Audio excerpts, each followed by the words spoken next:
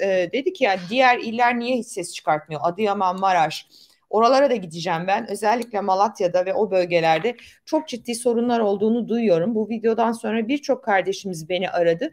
Ee, ilk işim hatta hayalimi de söylemiştim ama işte bulamıyoruz ki bir sponsordur, reklamdır, işbirliğidir. Biz bu işleri beceremedik kanalımızda. Kafamız basmıyor bu işleri açık söyleyeyim. Hatta bir gönüllü reklamcı arıyorum. Yani varsa eğer bize destek verecek bu işlerimizi e, bizimle birlikte hani e, ben işbirliği yapmak istiyorum ama tabii yani işbirliği yapacağım şey de bana yakışır olmalı.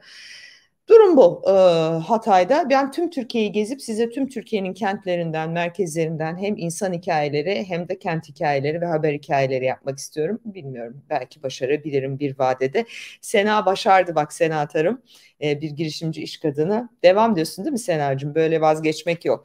Şimdi AK Parti e, bir yandan da aday arıyor. Seçimler yaklaştı. 100 günün altında bir gün kaldı artık Mart seçimlerine, yerel seçimlere.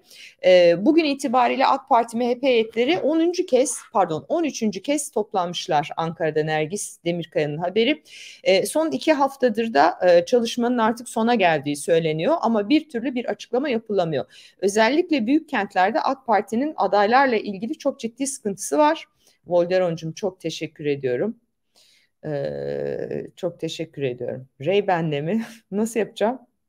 Benim hiç Ray benim olmadı ki. Dur bir deneyeyim Ray benle işbirliği yapmayı. Sen niye böyle bir şey önerdin? Bir şey biliyorsun da söylemiyor musun? Yoksa da bizimle işbirliği mi yapmak istiyorlar? Ee, Aa Sevda sen eski reklamcı mısın? Ha bilmiyordum canım benim. Estağfurullah. Sen zaten her türlü desteği veriyorsun. Çok teşekkür ediyorum.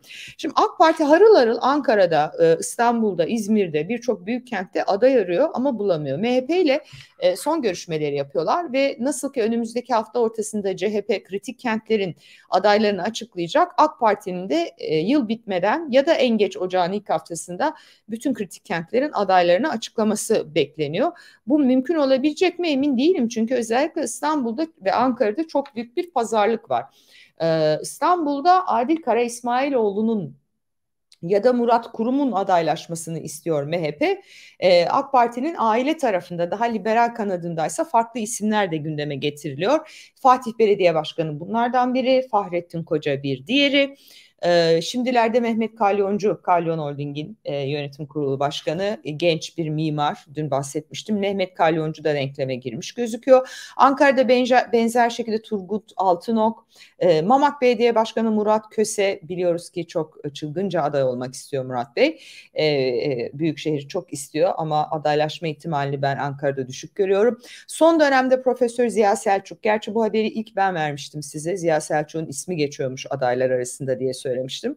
E, ikna edilip edilmeme meselesi görüşülüyor e, diye konuşuluyordu. Bugün Kenan Kenan Taş ikna edildi diye bir kulis bilgisi geçmiş. Ben kendisine yakın isimlerle konuştum. Henüz ortada öyle bir karar yok. Ziya Selçuk tarafında düşük bir ihtimal olduğunu da söylüyorlar. Ee, ama yine de denklemin içinde Ankara'da o isim de var.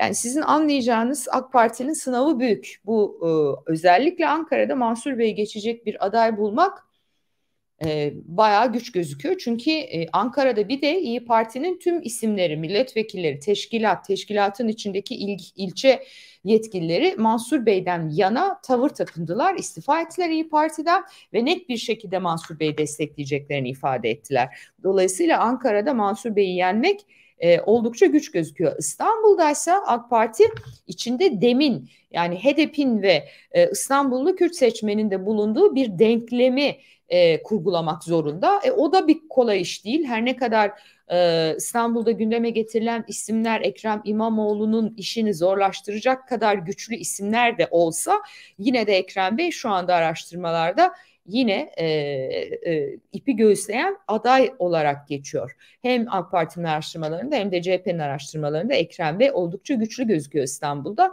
Ee, Ankara'daki kadar rahat değil durum İstanbul'da ama yine de İmamoğlu önde.